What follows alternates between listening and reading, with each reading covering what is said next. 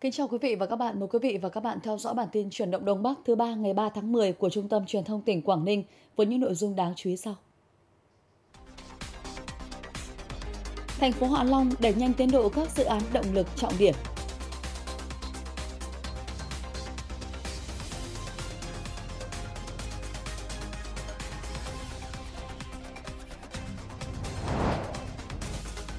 Các ngành địa phương triển khai đồng bộ các giải pháp giảm phát thải trong các hoạt động sản xuất kinh doanh gắn với phát triển bền vững.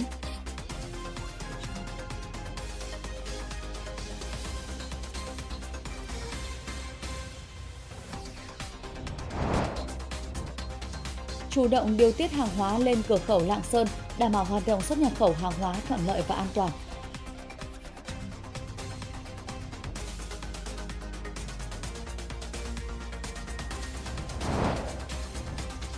Ngành y tế thực hiện các biện pháp phòng bệnh bạch hầu trong bối cảnh căn bệnh nguy hiểm này xuất hiện trở lại tại một số tỉnh thành trong nước.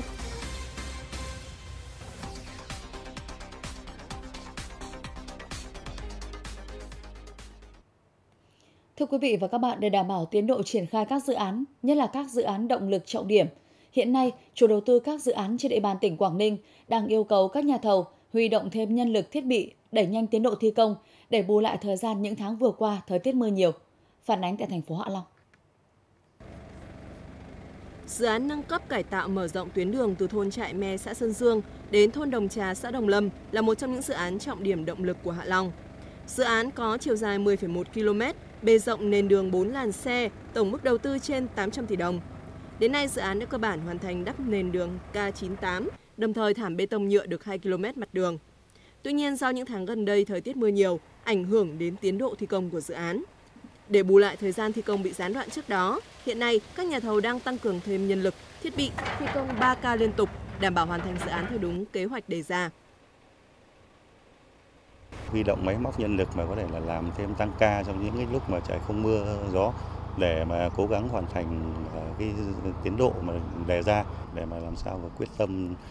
thảm được toàn tuyến xong trước ờ, ngày 30 tháng 10. Còn tại dự án xây mới trường Trung học cơ sở và Trung học phổ thông Quảng La, xã Quảng La, những công việc cuối cùng của dự án cũng đang được các nhà thầu gấp rút hoàn thiện.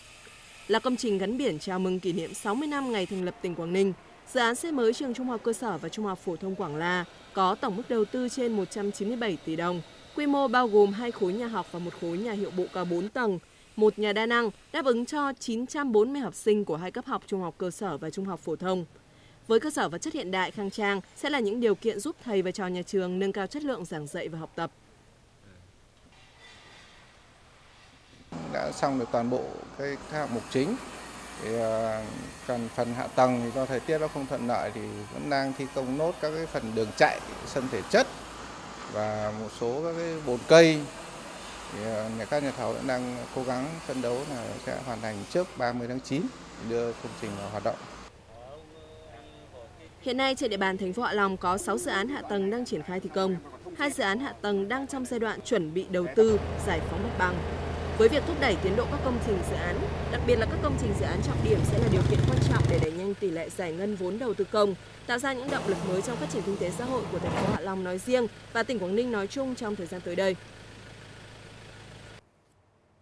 Hướng tới nền kinh tế xanh có mức phát thải thấp, sử dụng hiệu quả và tiết kiệm tài nguyên thiên nhiên – là các giải pháp thực hiện mục tiêu tăng trưởng xanh của thành phố Hải Phòng.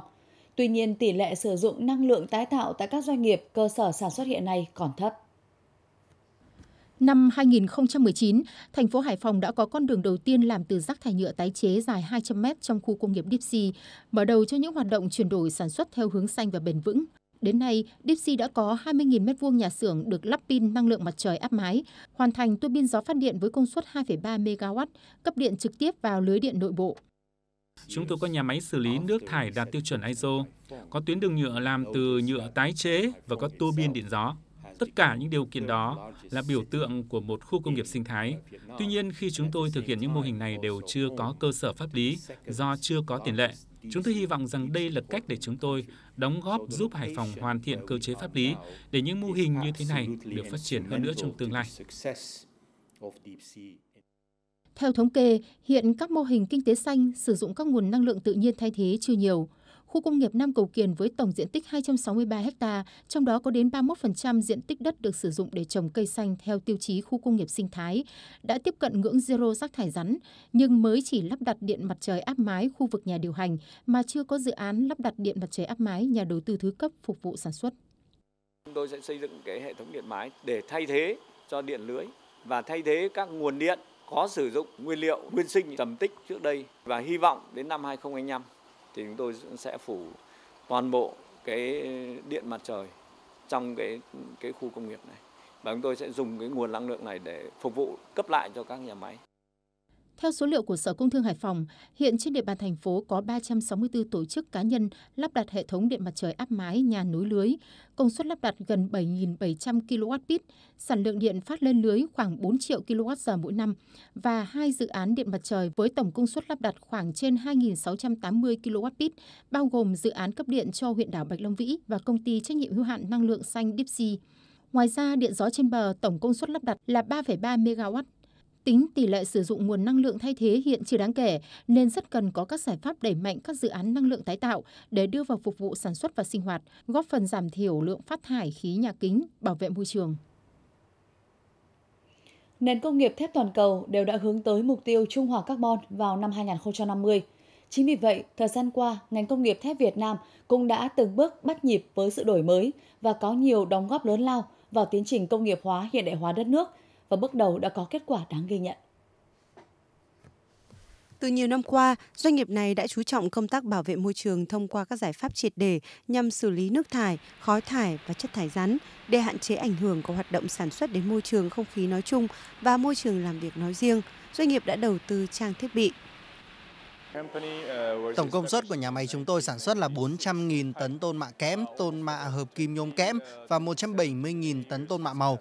Chúng tôi hướng đến tuân thủ các quy định chính sách của nhà nước, đồng thời mong sự hỗ trợ giúp đỡ của Tổng công ty thép Việt Nam và của tập đoàn Sumitomo Corporation của Nhật Bản để thực hiện chiến lược phát triển xanh, giảm thiểu hiệu ứng nhà kính, bảo vệ môi trường. Phát triển xanh đã trở thành xu hướng chung, tất yếu của thế giới nhằm hạn chế và loại bỏ các tác động xấu của biến đổi khí hậu đến phát triển kinh tế xã hội ngành thép đang nỗ lực đưa ra lộ trình giảm phát thải, tập trung tối đa mọi nguồn lực về công nghệ, trang thiết bị sản xuất nhằm đạt mục tiêu đến năm 2025 giảm từ 5 đến 10% phát thải, năm 2030 giảm từ 20 đến 30% và năm 2050 giảm về không. Lĩnh vực ừ, chuyển đổi xanh này thì nó đòi hỏi cả về công nghệ cũng như là cả về chi phí rất là lớn. Thế thì ừ, trước hết là về công nghệ thì hiện nay thì phải nói là thế giới vẫn đang ờ, triển khai đang nghiên cứu mức độ nó mới chỉ là ở giai đoạn đầu giai đoạn thử nghiệm thôi và nhiều công nghệ chưa chứng minh được hiệu quả kinh tế. Cái thứ hai là về cái chi phí. Khi mà muốn giảm các cái phát thải carbon thì đương nhiên là phải đầu tư thêm trang thiết bị bị công nghệ mới. Từ năm 2015 đến nay, Việt Nam trở thành nhà sản xuất thép thô thứ 13 thế giới, đứng đầu ASEAN về sản xuất và tiêu thụ thép thành phẩm. Tuy nhiên, ngành thép đang phải chịu trách nhiệm cho 7 đến 9% tổng lượng phát thải quốc gia và 45% các quá trình công nghiệp. Chính vì vậy, công nghiệp thép Việt Nam cần hướng tới chiến lược tăng trưởng xanh để đạt được mục tiêu phát thải carbon bằng không vào năm 2050 cũng thực sự là thách thức rất lớn. Và đối với ngành à, công nghiệp thép hiện nay thì một số doanh nghiệp thép, nhà sản xuất thép cũng đã bắt đầu áp dụng những các giải pháp có đưa ra những cái chương trình hành động và áp dụng những giải pháp ví dụ như là áp dụng những cái công nghệ ờ, mới để tiến tới xanh hóa dần toàn bộ cái quy trình sản xuất thép. Đây thực sự là một cái một cái nhiệm vụ hết sức là thách thức và rất khó khăn đối với doanh nghiệp thép. Đứng trước thách thức lớn, Hiệp hội thép coi đây cũng là cơ hội để ngành thép đổi mới, hiện đại hóa, trở thành một ngành có trình độ công nghệ hiện đại, tiên tiến và phát triển bền vững. Trên cơ sở tiếp nhận thông tin từ ngày 1 đến ngày 6 tháng 10, phía Trung Quốc nghỉ lễ Quốc khánh, Ban Quản lý Khu Kinh tế Cửa khẩu Đồng Đăng, tỉnh Lạng Sơn vừa thông báo đến các thương nhân doanh nghiệp có hoạt động xuất nhập khẩu qua các cửa khẩu trên địa bàn về tình hình hoạt động xuất nhập khẩu hàng hóa như sau. Các cửa khẩu quốc tế hữu nghị Tân Thanh, Chi Ma vẫn thực hiện thông quan xuất nhập khẩu hàng hóa bình thường. Các cửa khẩu Cốc Nam, Na Hình sẽ nghỉ đến hết thời gian thông báo. Cũng theo Trung tâm Quản lý Cửa khẩu, bắt đầu từ tháng 10 năm 2023, cửa khẩu song phương Chi Ma sẽ thực hiện thông quan hàng hóa bình thường vào những ngày thứ Bảy Chủ nhật và các ngày nghỉ lễ Tết thay vì nghỉ như trước đây. Để đảm bảo hoạt động xuất nhập khẩu hàng hóa thuận lợi và an toàn, lực lượng chức năng cửa khẩu đã triển khai các biện pháp nghiệp vụ, bố trí nhân lực trực tăng giờ làm việc, bổ sung phương tiện trang thiết bị để giải quyết các thủ tục thông quan hàng hóa nhanh chóng và đúng pháp luật.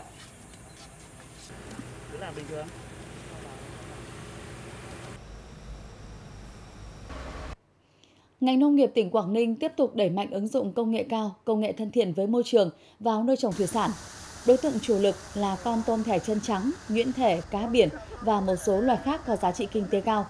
Từ đầu năm đến nay, tổng sản lượng thủy sản nuôi trồng toàn tỉnh đạt 74.000 tấn, tăng 15 16,5% so với cùng kỳ. Trong đó, riêng nuôi tôm là 7.500 ha, tập trung chủ yếu ở các địa phương Móng Cái, Tiên Yên, Đầm Hà, Hải Hà. Riêng năm nay cũng có một cái đặc biệt là con tôm. Thế chúng ta cũng đã đạt được sản lượng là 22,5 ngàn tấn, chiếm khoảng 30% trong cái tổng sản lượng nuôi. Đây là một trong những đối tượng có giá trị à, tốt và cũng đã nâng cao cái giá trị của ngành. Thế thì à, toàn tỉnh cũng đã sản xuất được khoảng 2,3 triệu con con giống các loại. Thế cũng đáp ứng được khoảng 35% tổng nhu cầu giống của toàn tỉnh. Ngành nông nghiệp đang tiếp tục chủ động phòng ngừa dịch bệnh, ưu tiên nuôi tôm ứng dụng công nghệ hiện đại trong sản xuất thủy sản, phát triển các mô hình siêu thâm canh.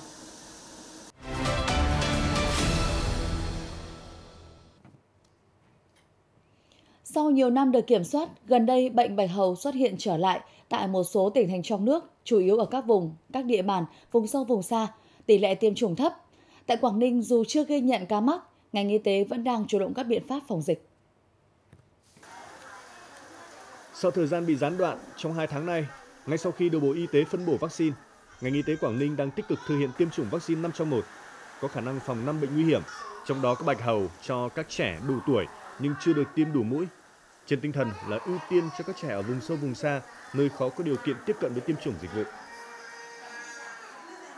Các bác sĩ nói tiêm phòng bạch hầu có thể phòng bệnh cho con nên tôi cũng cho con đi tiêm đầy đủ. Đến hôm nay con tiêm được hai mũi năm trong một rồi cũng thấy yên tâm. Bệnh bạch hầu là bệnh truyền nhiễm qua đường hô hấp, có thể lây lan nhanh chóng và hiện nay vẫn đang được xếp vào bệnh truyền nhiễm nhóm B. Sau nhiều năm được kiểm soát tốt, thì vài năm gần đây bệnh đã tái xuất hiện tại Tây Nguyên, Hà Giang và Điện Biên, chủ yếu là ở những vùng sâu vùng xa, nơi có tỷ lệ tiêm chủng đạt thấp. Do đó, song song với tiêm chủng thì ngành y tế các địa phương cũng tăng cường công tác truyền thông, đặc biệt là cách phòng tránh và dấu hiệu của bệnh để phát hiện sớm ngay khi có ca mắc. Chúng tôi sẽ tăng cường giám sát, phát hiện ca bạch hầu nếu có và ờ, hướng dẫn và tư vấn những bà mẹ nếu có những cái biểu hiện lâm sàng như là ho này, sốt này, ớn lạnh và khó thở đưa đến cơ sở y tế gần nhất để khám và tư vấn lại điều trị. Tuy nhiên, hiện nỗi băn khoăn và lo ngại lớn nhất của các đơn vị y tế địa phương, đặc biệt là ở các vùng sâu vùng xa, vẫn là việc cung ứng vaccine 5 trong 1 vẫn còn nhiều khó khăn. Phòng chống tốt được bệnh bạch hầu thì ờ,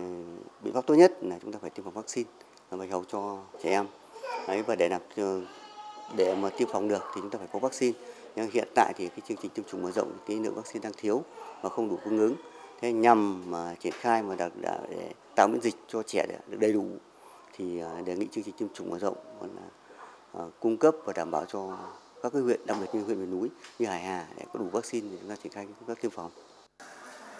Các chuyên gia y tế khuyến cáo đường lây của bệnh qua đường hô hấp do tiếp xúc trực tiếp với dịch tiết đường hô hấp hoặc là qua giọt bắn nhỏ bắn qua không khí. Bệnh có thể lây gián tiếp qua đồ dùng, quần áo và thức ăn, có dính dịch tiết hô hấp của người bệnh. Do đó có thể chủ động phòng bệnh bằng các biện pháp như là thường xuyên vệ sinh tay bằng xà phòng, vệ sinh đồ chơi, nơi ở, đảm bảo thông thoáng, che mũi miệng khi mà ho hắt hơi, vệ sinh miệng mũi họng hàng ngày, hạn chế tiếp xúc với người mắc hoặc là có triệu chứng nghi mắc. Đặc biệt là cần đưa trẻ đi tiêm chủng đầy đủ đúng lịch vaccine phối hợp có thành phần bạch hầu nhằm tạo miễn dịch, phòng bệnh hiệu quả.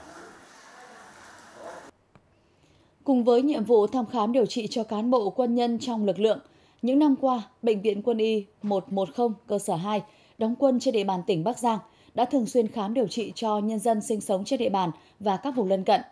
Việc kết hợp quân dân y trong chăm sóc sức khỏe nhân dân mang nhiều ý nghĩa chính trị sâu sắc. Khi xuất hiện triệu chứng đau bụng, bà Thuần đã lựa chọn cơ sở khám chữa bệnh quân y này để thăm khám và điều trị. Đây không phải là lần đầu tiên bà Thuần đến khám lấy thuốc điều trị tại bệnh viện. Tôi kiểm tra à, một năm hai lần mà tôi kiểm tra à, về tim về phổi